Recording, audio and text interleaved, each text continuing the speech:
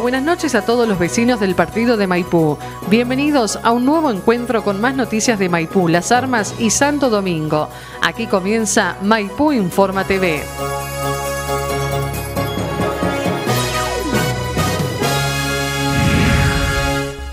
La Dirección de Bromatología a cargo de la médica veterinaria Sabrina Elizondo realiza en forma mensual la desratización de las bocas de tormentas mediante la colocación de cebos. Los mismos son propiciados por el Ministerio de Salud para efectuar esta medida y también para que los vecinos que lo necesiten se acerquen a la oficina de bromatología donde les serán entregadas. El modo de administración es en bolsas individuales, lo que aluna el riesgo de las mascotas y personas que circulen por lugares cercanos. Se llevó a cabo eh, la desratización de Maipú, eh, donde fueron colocados cebos raticidas en las bocas de tormenta. Eh, las mismas se colocan en bolsitas individuales dentro de las bocas de tormenta, con lo cual los riesgos hacia las mascotas son mínimas. Em, los cebos son, los provee el Ministerio de Salud, en la cual nos llegan todos los meses eh, donde hacemos esta campaña de ratizar el pueblo y además todas las personas que necesiten cebos pueden pasar por la dirección de bromatología donde les son entregadas las bolsas para que los lleven a sus eh, casas. Este, sí, esta campaña la realizamos todos los meses eh, donde se deposita no solamente en las alcantarillas, sino también en las bocas de tormenta y en el galpón del ferrocarril.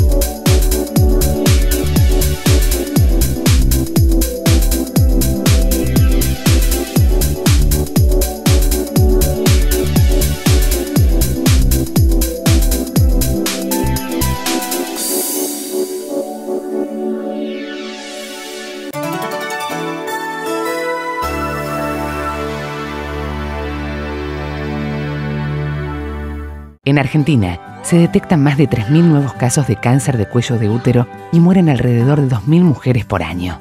Sin embargo, esta enfermedad se puede prevenir. Si sos mujer y tenés entre 25 y 64 años, visita al ginecólogo y hacete el test de Papa Nicolau, PAP, para poder detectar a tiempo el cáncer de cuello de útero, tratarlo y curarlo. Y si tu hija tiene 11 años, asegúrate de que reciba las tres dosis de la vacuna contra el VPH, virus papiloma humano, para prevenir el cáncer de cuello de útero. El PAP y la vacuna contra el VPH son gratuitos en todos los centros de salud y hospitales públicos del país.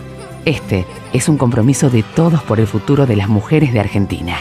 Es un compromiso de todos por mañana.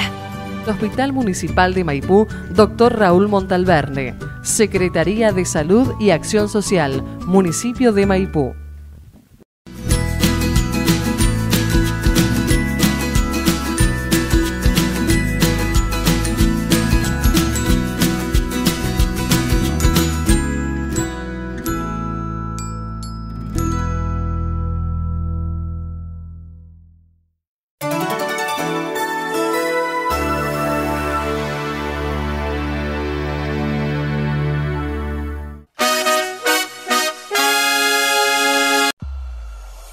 Brillante actuación de los alumnos de gimnasia masculina en el Torneo Nacional Federativo en Mendoza. Los resultados obtenidos fueron los siguientes. Categoría Mini, nivel D, Damián Pagliero, campeón por equipo y cuarto individual. Categoría Menores, nivel D, Ivo Caracas, décimo individual. Santiago Meas, octavo individual. Nicolás Caudanes, subcampeón argentino y campeón por equipo. Categorías infantiles, Facundo Garfield, décimo individual. Manuel Fontana, séptimo individual. Joaquín Lora, campeón por equipo. Joaquín Novillo, campeón por equipo y sexto individual. Octavio Descalchi, campeón argentino individual y por equipo. Categoría cadetes, Santiago Aranciaga, séptimo individual. Gonzalo Acebal, campeón argentino. Categoría juveniles, Tomás Salvatierra, medalla de bronce. Adrián Coudanes, campeón argentino. Eh, el domingo 9 estuve, regresamos de la ciudad de Mendoza. Eh, realmente una experiencia muy linda, eh, muy feliz, orgulloso de la participación de los alumnos de gimnasia deportiva masculina. bueno, seguramente habrán visto muchos este, que, los logros fueron muy importantes. no me canso de decir de que más allá de que uno sabía que los chicos estaban preparados, que habíamos trabajado de gran forma todo el año, fue un nacional, diría, distinto, fue un nacional de muchas sorpresas, eh, porque hubo resultados que realmente sorprendieron en gran manera, eh, así que, como te voy a repetir, muy contento, muy estuvimos muy acompañados por parte de todas las familias durante todo el año, los provinciales y en este caso en el nacional, así que, bueno, esto da muchas ganas para seguir, eh, da mucha fuerza, da, entusiasma muchísimo y bueno, este, esperemos que que esto continúe así, que podamos año a año este, repetir un nacional como el que se ha dado en este caso el Mendoza, como te decía. Sí, sí, realmente, como te decía, este, importantísimos resultados, eh, empezando por, como yo digo, ¿no? por los más chiquitos, por esos alumnos que tienen la primera experiencia, el caso de eh, Damián Pagliero, que Damián, estuvo el año pasado en Carlos Paz, en el Nacional, pero bueno, lógicamente, imagínate si estamos hablando de un chico que estuvo con siete años el año pasado, por supuesto este año, ya su segundo Nacional, eh, con tan corta edad, logró este, el campeonato argentino por equipo, ya Damián este año clasificó integrando el equipo de la provincia de Buenos Aires. Y bueno, este, salió campeón argentino, imagínate la alegría, la sorpresa, eh, medio como que Damián no lograba entender un poquito lo que estaba pasando por semejante magnitud. Y lógicamente un cuarto lugar, un cuarto lugar eh, individual. Más allá del campeonato argentino, también participó en forma individual, cuarto lugar que también, imagínate que sorprendió ante 33 chicos, 34 chicos de la categoría, chicos que como él clasifican durante todo el año en cada provincia. Yo siempre claro que no nos anotamos a un nacional y vamos, este, hay una clasificación que es que es, mucho sacrificio, lugares lejos, como la Nube Escobar, Mar, Mar, del Plata este año fue cerca, pero siempre hay que lograr una clasificación que no es poca cosa. Así que bueno, destaco lo de Damián, destaco lo de lo de Nicolás Caudanes en categoría menor. Nicolás Caudanes logra el subcampeonato argentino individual y el campeonato argentino por equipos. Imagínate que si de Damián estábamos sorprendidos, con Nicolás fue una emoción grandísima. Eh, en la categoría menor es lo mismo Santiago Meas, su primera experiencia, muy nuevito Santiago, lo mismo que eh, Ivo Caracas, también Ivito Caracas, eh, ubicaron en, en, este momento, no recuerdo bien, pero se ubicaron entre octavo y noveno. Imagínate que una categoría de 40 chicos aproximadamente, así que eh, me parece que una destacada actuación muy buena, gracias a Dios, así que eso es lo que es categoría, categoría menor. Y la categoría infantiles, bueno, el caso de Octavio Descalchi, Octavio logró el campeonato argentino en Carlos Paz, y vuelve a lograr el campeonato argentino en Mendoza. En Carlos Paz fue en menores y ahora en infantiles. Pasó de categoría, nuevo en la categoría y nuevamente gana el campeonato argentino, tanto individual como en equipo. Así que logró el bicampeonato argentino y también eh, realmente eh, sorprendió muchísimo y una alegría inmensa. Eh, Joaquín Novillo y Joaquín Lora, los dos, lograron el campeonato argentino junto con Octavio porque los tres integraban el equipo y bueno, tuve la suerte de ser el técnico del equipo infantiles, así que te imaginas que bueno, una alegría doble de poder conducir el equipo de mis alumnos y chicos, en este caso de Lanús y de La Plata, así que bueno, eh, muy contento. Y después, eh, en, esa, misma categoría, eh, Manuel Fontana, logrando un séptimo lugar, muy importante, Facundo Arfiel también, logrando un décimo lugar, también Facundo es nuevo este año, Manuel no, pero Facundo ya nuevito este año también. Así que bueno, ese fue el equipo de infantiles. Después cadetes, en cadetes este, Santiago Aranciaga, también se ubicó entre los primeros 10 de la, de la categoría.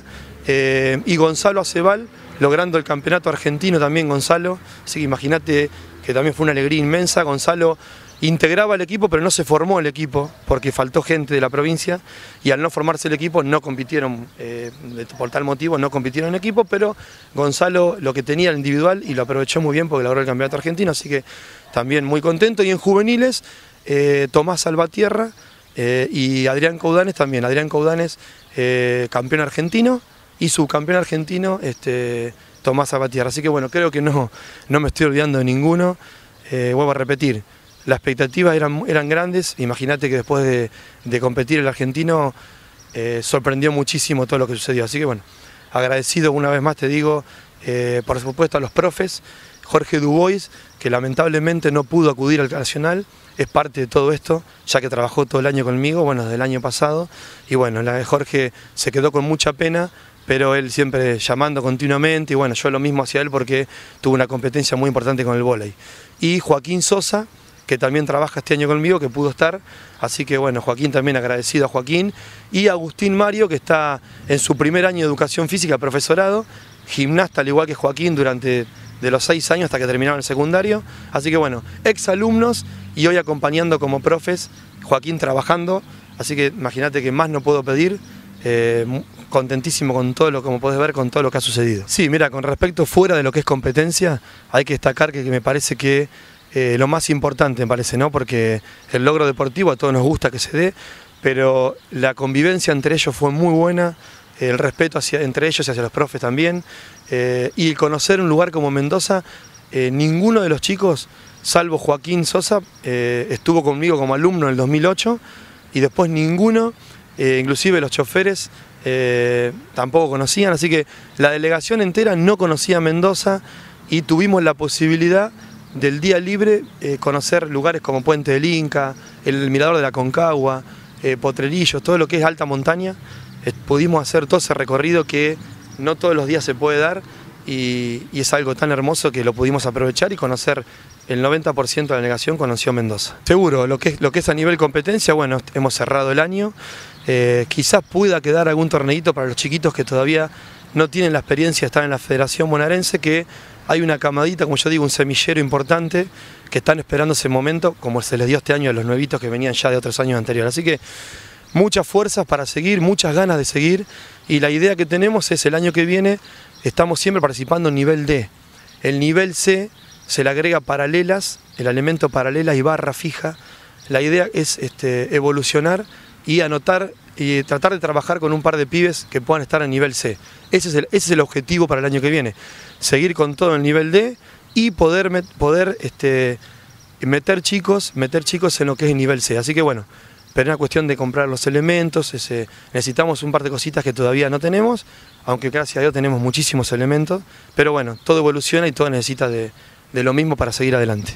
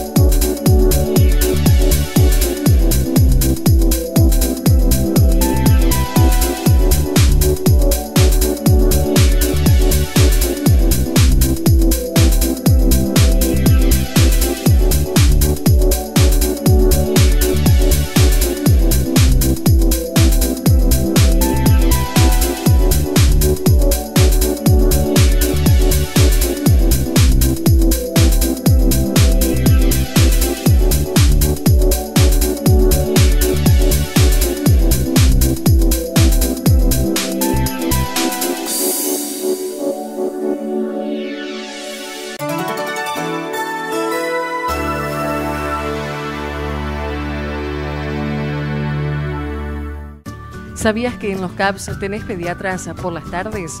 Acércate a controlar a bebés, niños y adolescentes en la atención pediátrica primaria, cerca de tu barrio, con médicos de Maipú y del Materno Infantil de Mar del Plata, de 15 a 19, con médico, enfermera, trabajadora social y administración, para controles de todo tipo, seguimientos de medicación, consultas pediátricas de enfermedades leves y tratamientos primarios. Atención Pediátrica Primaria, otro servicio de salud del Hospital Municipal de Maipú, Dr. Raúl Montalverne, Secretaría de Salud y Acción Social, Municipio de Maipú.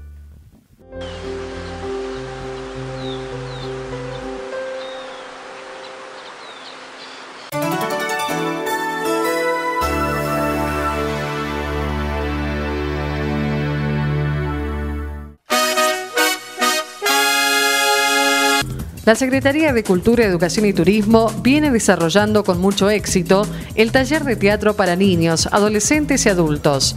El taller se lleva a cabo en el Centro Cultural Leopoldo Marechal y las clases están a cargo de Daniel Conte. Como cierre, los alumnos adultos harán el montaje de una obra denominada Entre lo humano y lo divino. Aquí el profesor nos brinda los detalles. Bueno, yo estoy a cargo de los talleres de teatro para niños, adolescentes y adultos. Mi nombre es Daniel Conte. Eh, y estamos ya con el grupo de adultos preparando la muestra final, que va a ser el montaje de una obra que se llama Entre lo humano y lo divino. Eh, invitamos a todos a que vengan, se va a dar el martes 22, el sábado, el martes 15, el 22 y el 25. Eh, alrededor de las 20, 30, 21 horas. Eh, es una obra que trabajan casi, son casi 20 los alumnos del taller de adultos. Eh, y bueno, es parte del trabajo de, durante todo el año. La obra es una adaptación mía, que a su vez es una obra de un autor colombiano.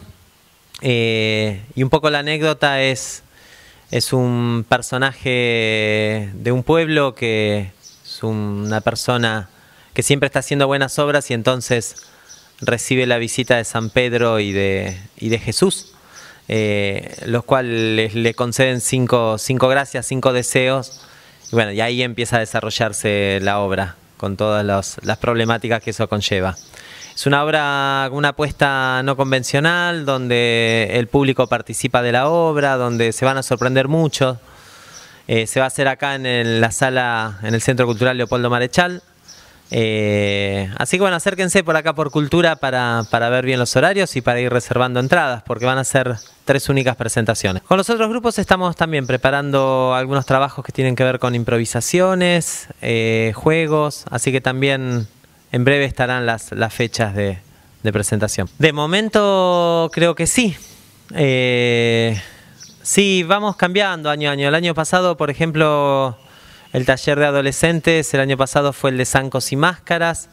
Eh, y bueno, estamos pensando formatos nuevos para, las distintas propuestas. No, los talleres son, son abiertos, los talleres son de iniciación, eh, sí tener ganas, ganas y, venir a divertirse. Los talleres de teatro son, son talleres que, apuntan a, desarrollar la creatividad y las ganas de jugar. Eh, estas son las propuestas de los talleres y bueno, estar atentos porque eh, este año hubo muchos inscriptos y bueno, los talleres tienen un cupo en relación al espacio, así que estar atento en el mes de marzo para acercarse acá a la Dirección de Cultura para, para ver las fechas y los horarios y los días. Sí, sí, sí, sí. Sí, la verdad que son espacios muy, muy valorados por, por, por los vecinos. Son espacios gratuitos. Eh, de continuidad, son talleres anuales. Así que la verdad sí, es, es, un privilegio para mí poder estar trabajando, dando estos talleres acá en la ciudad y, y bueno, con la buena respuesta también de los vecinos. Hasta aquí compartimos Maipú Informa TV, el encuentro diario con más noticias del partido de Maipú. Los invitamos a seguir informados las 24 horas en las redes sociales, en la web municipiodemaipú.com.ar, Facebook Municipio de Maipú, Twitter Maipú Te Quiero, YouTube Municipio de Maipú Buenos Aires. Muchas gracias por acompañarnos y hasta el próximo encuentro.